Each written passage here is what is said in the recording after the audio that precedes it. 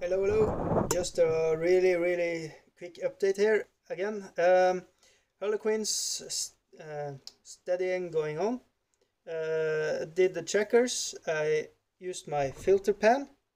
It is uh, a fine line drawing pen with pigment ink. Uh, 03 and I just uh, uh, go sideways one way and then recap the other way and then I get the checkers.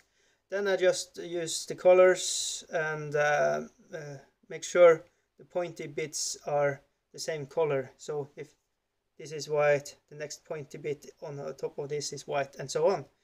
Uh, this color is uh, a mixture of uh, skin color and uh, a bright blue one and get this uh, lovely turquoise color. So um, yeah, I'm making up colors as I I do this. Okay, um, so this is uh, just a really short update and maybe I will make something like this for my Farseer.